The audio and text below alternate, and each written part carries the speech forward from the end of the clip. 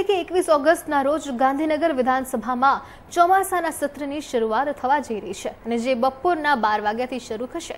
ઉપરાંત, જો કે કહી શકાય કે ટૂંકી જ મુદ્દતોના પ્રશ્નો સાથે બેઠક શરૂ કરવામાં આવશે. મળતી માહિતી અનુસાર, સત્રમાં માનવ બલિકળા, ઉપરાંત જે કાળા જાદુ છે, ઉપરાંત અટકાવવાની ખાસ અલગ અલગ બાબતે ચર્ચા થશે, વિધેયક લાવવામાં આવશે. ઉપરાંત તારાકીત પ્રશ્નોત્તરી કાળાને પણ ખાસ કહી શકાય જે કાર્ડ છે તેને બદલીને ટૂંકી મુદતમાં પ્રશ્નો પર ચર્ચા કરાશે. વિધાનસભાના ચોમાસા સત્રમાં પ્રશ્નોત્તરી કાળ બાદ શોક દર્શનનો ખાસ ઉલ્લેખ કરાયો હતો. ઉપરાંત વાત કરીએ તો જે બાદ વરસાદની ચર્ચા કરવામાં આવશે, જેમાં સૌરાષ્ટ્રમાં પડેલા ભારે અને કહી જે વરસાદ પડ્યો છે, નુકસાન થયું છે, તેના અંગે ચર્ચા કરવામાં આવશે.